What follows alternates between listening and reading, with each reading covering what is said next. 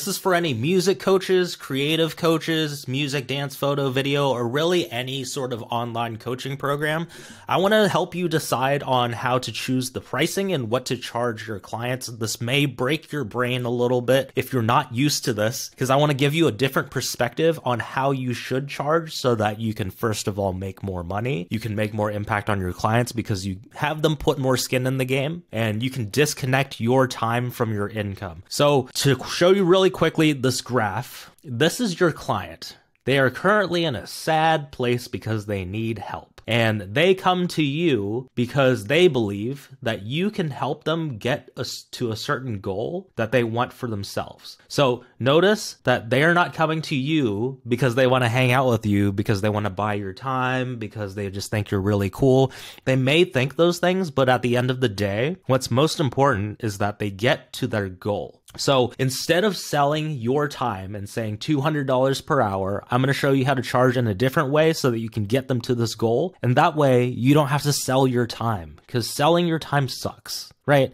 Selling your time is, hey, I have to show up or I'm not going to get paid. And no matter how much you decide to change this number, this could be $2,000 per hour. It could be $20,000 per hour doesn't really matter. You still have to show up. And so your time is attached to your earning potential. So I'm going to show you how to disconnect that. Okay, so again, this is how you get paid your worth without selling more time. And most models are like this they charge hourly. There is a time ceiling when you charge hourly. We only have 24 hours a day. I have 24 hours. You have 24 hours. Elon Musk has 24 hours. Tim Cook has 24 hours. We all just use it a little bit differently. And if you have, we, if we all only have 24 hours, we can only charge for 24 hours amount of work. The income is where it can fluctuate, but the time does not fluctuate. And attaching your income to a limited source is not the, the most brightest thing to do. Like, why would you do that, right? If you have so much physical capability, if you only have so much time, why would you charge the, um, why would you attach the amount of money you have to that? Something that you want to grow exponentially, why would you attach it to a limited source? Ask yourself that. This is a hundred percent nine to five mentality. And that's okay because I used to think that way as well. But I just want to challenge you to break that belief and think in different ways if you want to earn different types of money. You want to earn like the 1%, the 5%. Or if you want to earn like the general public, then you want to think like the general public. So it's up to you to decide, but I want to show you how to think more of the, the more like the 5%, the 1%. I, I don't know if you've ever like broken things down this way, but I remember when I worked at nine to five and I was working a job, I would think about if I bought something, right? Like if I bought a video game that was like $60, I'd be like, that's like three hours worth of work. And this is just how we think when we are an employee and have that nine to five mentality. We think of things in terms of how much we get paid per hour. And if we think like that, we're always going to be limited again because of the ceilings to income and time. So here's the truth. People don't want to buy your time.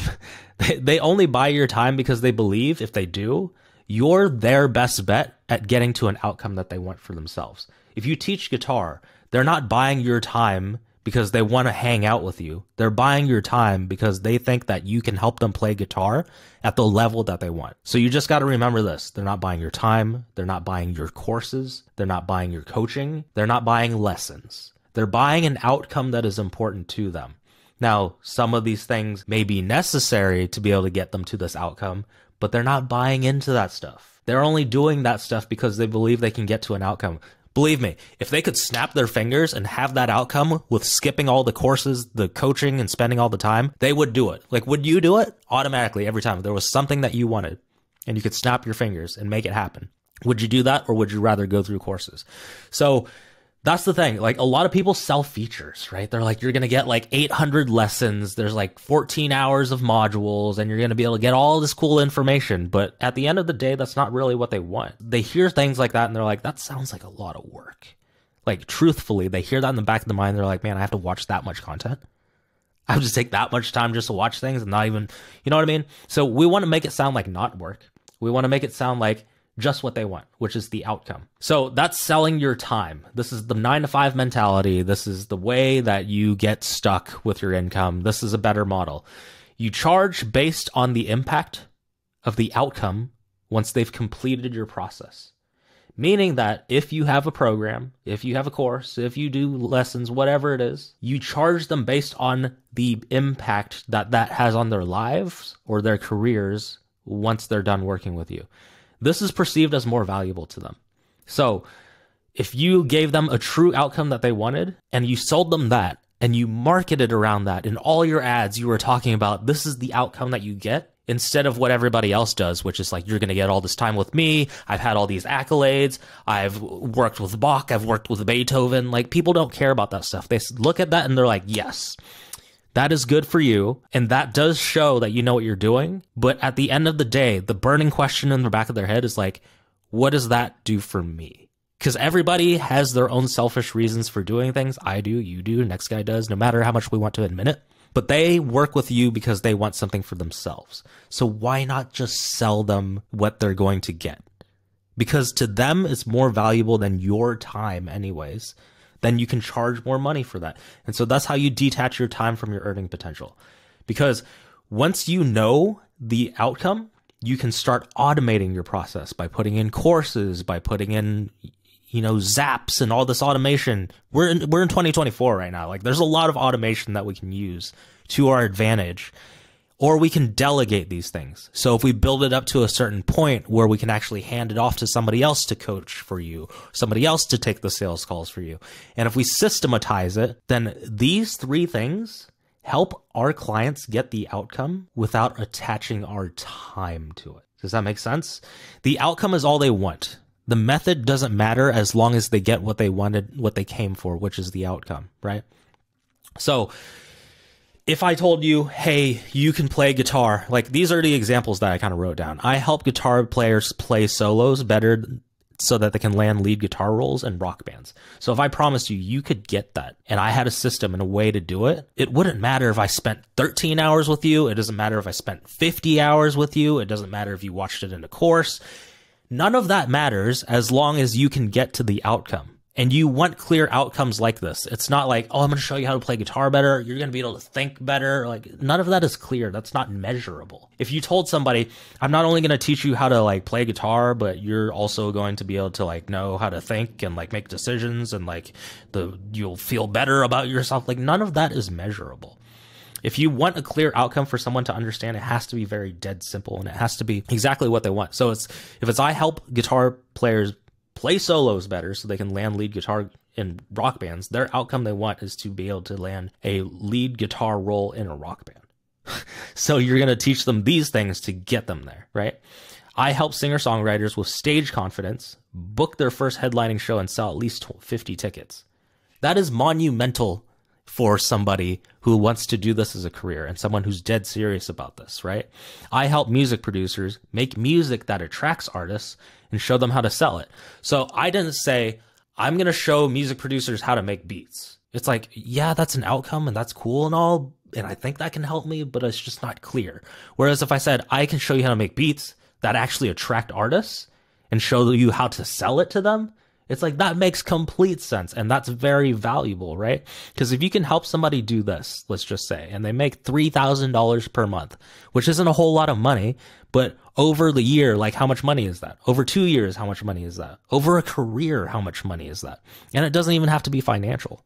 If they can land their dream job to be able to play in a band and tour and, you know, live that lifestyle of being that rock star, like what is that worth to somebody? So this is where you can start attaching a high ticket price to getting this outcome versus just trading your time. So if you got someone an entire career or you sold someone their first shows and all like all this stuff, right? They have the confidence to be able to do it whenever they want. They have the methods to be able to sell out tickets whenever they want.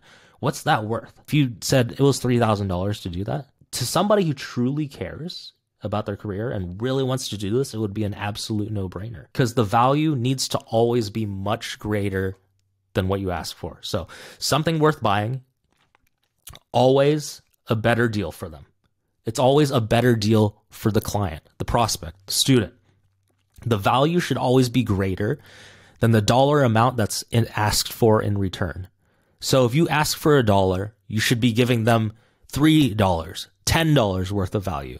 If you ask them for a hundred, you should give them $1,000 worth of value. If you ask for 10,000, you should give them $100,000 worth of value. Okay. So if you can make them $100,000 a year booking out shows and you charge them the 10,000, it's still a no brainer.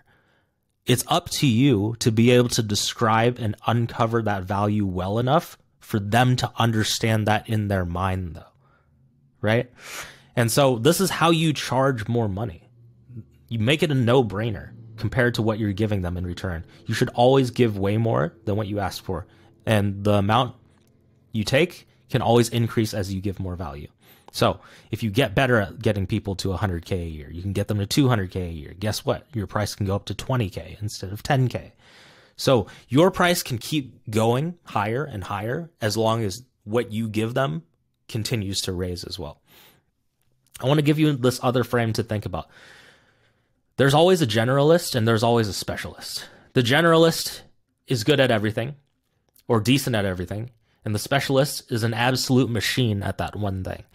So I want to give you an example to think about. If you had a hole in your roof, water was leaking, like rain was coming in, it was destroying your ceiling, it was destroying your bathroom, it was destroying your PS5, all your electronics, your wiring in your house all messed up.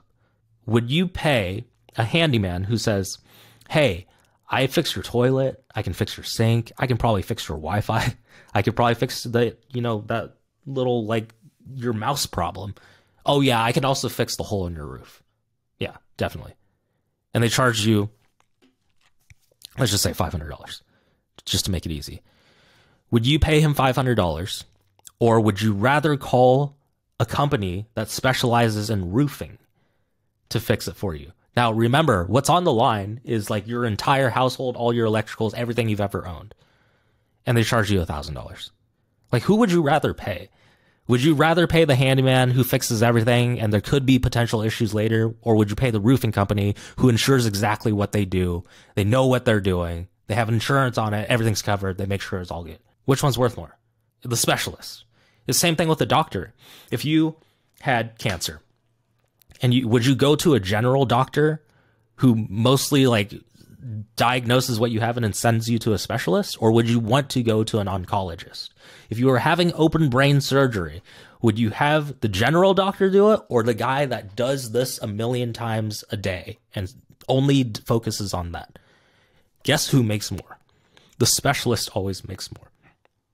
So if you are the specialist, you can systemize you can systematize your process versus creating a new curriculum for each student you're probably going through this if you teach music lessons, but every student that comes in the door is at a different level. They learn differently. They need to know different things. And so you end up creating all these curriculums for each individual. How do you do that at scale? If you had 500 students, like how would you do that? And if you gave them one on one attention, how many hours in the day would you be able to have to do that? So if you want to specialize, you can actually systematize your process. And what you can do instead of catering to everybody is you can attract the people who want to buy what you already have instead of chasing and pandering to each individual.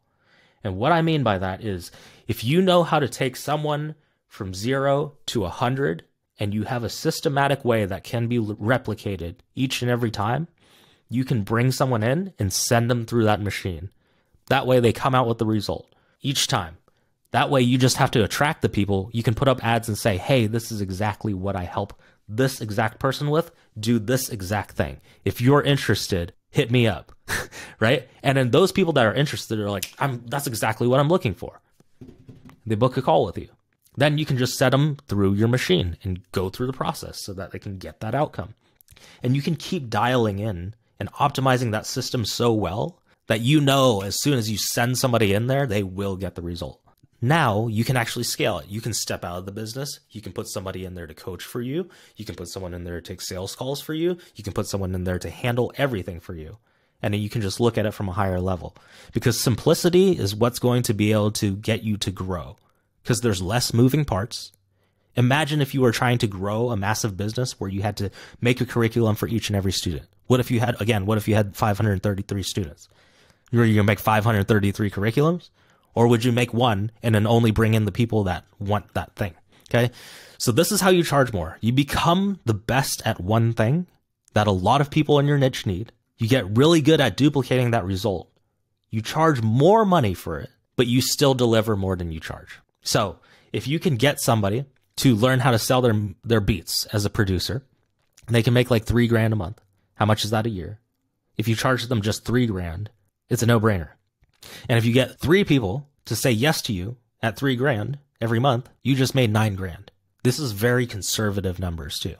You can keep growing this. And let's just say you get better and you start getting more people results and you increase your price to 5K. Well, now you just need three people to say yes to you and you just made 15 grand. Instead of selling something for like, I don't know, like a hundred dollars an hour, like how many physical hours do you have to put in to be able to hit 15 grand? And even if you did that, you would still have to show up because you're selling your time. Whereas if you have a systematic process where everybody can watch a certain amount of lessons, they do a certain amount of actions, you don't have to show up to make sure they do all that stuff. You can still charge them five grand, get them that result. You make a lot of money, they make a lot of money, everybody wins, right? So this is just another way to think about how you can charge for your coaching program versus just charging at an hourly rate. Hopefully you found that helpful. If you want to learn more about how to create a system like this, I'm going to leave a training down below and you could book a call with me if you actually want my help to sit there with you and create this product and create your coaching program so that you can shortcut all this and be ahead of everybody else. I'll leave the link below to the free training and to book a call and hope that was helpful. Please hit subscribe and I will see you in the next video.